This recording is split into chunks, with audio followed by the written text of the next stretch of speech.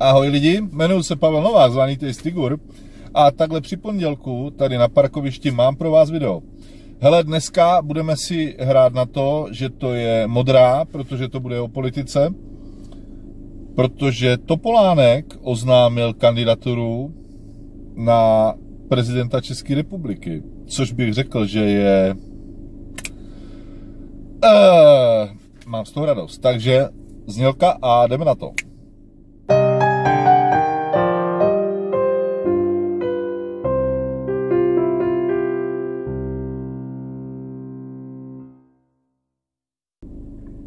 Lidi asi takhle.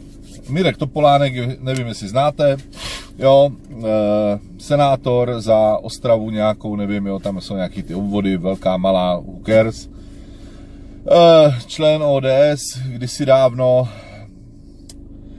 e, taky premiér, ten, který, který podepsal Lisabonskou smlouvu, je tam někde vytesaný v Lisabonu na té desce Eh, ten, který teda byl, byl hruzostrašný, když Klauze vyměnil na, na předsedovi ODS, tak to bylo takový jako prázdný a falešný topol, SMSky, jo, jako a tak dále, a tak dále, a tak dále.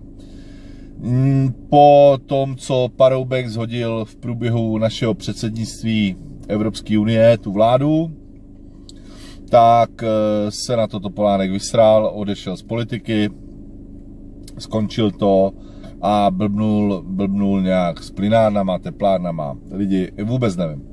Vůbec nevím, eh, v každém případě měl taky, měl taky, měl taky Dalíka, měl taky svého Dalíka, eh, což byl člověk, který by dneska měl do 16 hodin nastoupit do vězení, pořád to opakuju ve zprávách, nechápu, ale proč ne. No a on teda dostal nějaký za, za, za úplatek, který který vybáhal při, při nákupu panduru. No, No a teďka Topolánek prostě ohlásil, že, že zkusí, zkusí ten hrát, no, zkusí ten hrát. Lidi, eh, řeknu vám to asi takhle. Řeknu vám to asi takhle. Bavili jsme se o tom v pátek na streamu a já jsem říkal, no nemám zrovna že bych jako měl koho, koho volit. Jo? Koho, jo, zatím ty prezidentští kandidáti mě nějak výrazně neoslovili. Jo, na, na každým prostě něco tamto, jo, e, protěžovaný drahoš mě prostě nepřijde jako, jako, e, jo, ale jako, jako dovedl bych si to představit. Nicméně teď, nicméně teď, lidi, já mám radost jako já mám fakt radost, že to budu moc možná, možná, ještě, ještě to nemám úplně jistý, ale že to budu možná moc v prvním kole hodit tomuto Polánkovi.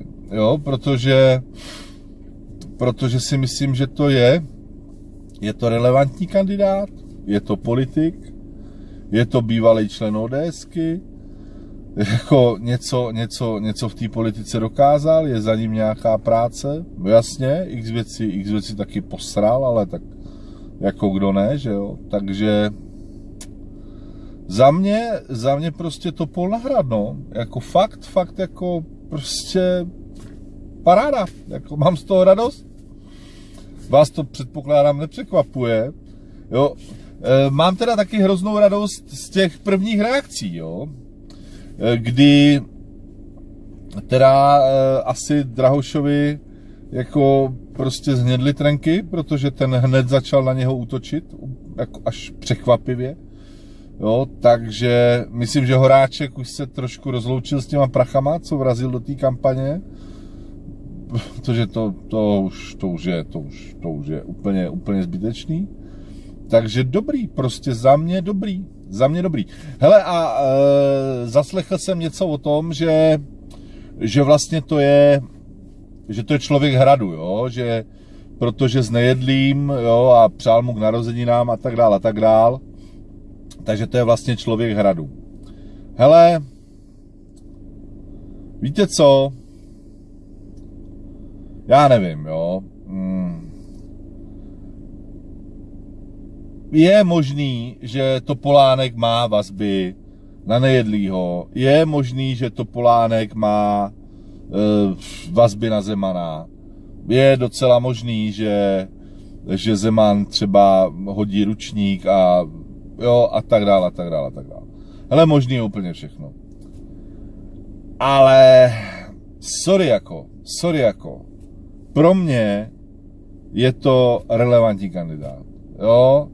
A OK, OK, Dalík udělal x, x špatných věcí. Je fakt, že Topolánek prostě říkal, že na něm s Dalíkem padá a stojí. Nebo stojí a padá, no to je jedno. Ale ten Dalík jako toho Topolánka, když přišel eh, z té Ostravy do té Prahy, tak mu jako hodně pomohl, jo. A byl to on, kdo tehdy pomohl tomu Topolánkovi, potažmo celé ODS.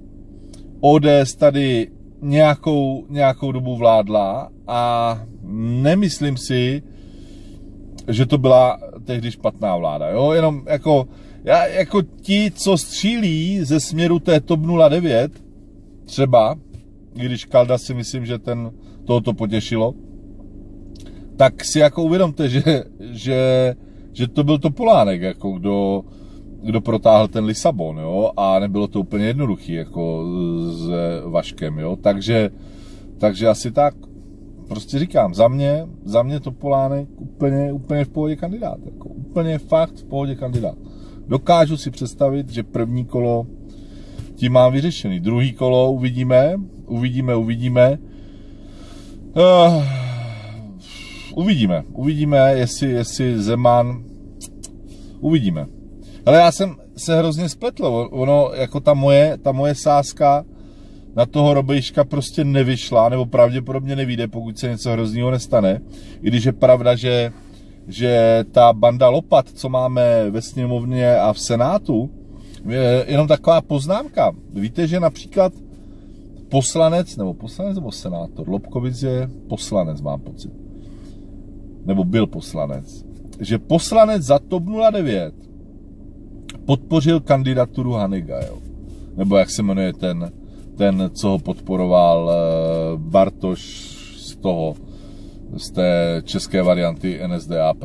Jo, jako, OK, jako, takže asi takhle, jo, jako asi lidi takhle. Jsem rád, jsem rád, že, že ten Topol, jestli, jestli to není teda jako mega prank, tak jsem fakt rád, že do toho půjde, protože někdo hrozně krásně zahradil. Zahradil, který ho teda by the way vůbec nemám rád, ale to je jedno. Tak napsal, že Horáček s Drahošem jsou jako dvě akvarijní rybičky. Teďka konečně připrula štika, ale je třeba si uvědomit, že Zeman to je taková velká bílá verliba a sice možná má v sobě několik harpun vražených a jako není na tom moc dobře, ale pořád je to pořád je to sakra, sakra velký zvíře. Jo. Takže uvidíme, no, uvidíme. Uvidíme, uvidíme, jak se to vyvine. Každopádně mě to teď, teda teď mě ty prezidentské volby začaly vážně bavit. Takže lidi, to je všechno. Jsem zvědavý, když se dostanu z práce a možná třeba dáme, dáme večer zase, zase tu, tu hnusnou hru, jako kde neustále umírám. Jo, live The Repeat, jo, nebo jak to, tak, tak nějak se jmenuje ta hra.